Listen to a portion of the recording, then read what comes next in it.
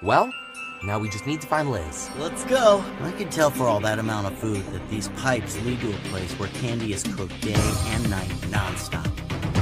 She's so sweet, she'll probably blend in with all that candy. Liz is hidden in that place for sure.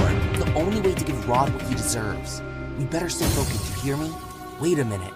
Isn't that Liz? Mm-hmm. Yep, that's Liz. Look, this is my sister. What will the ice cream maker want from me?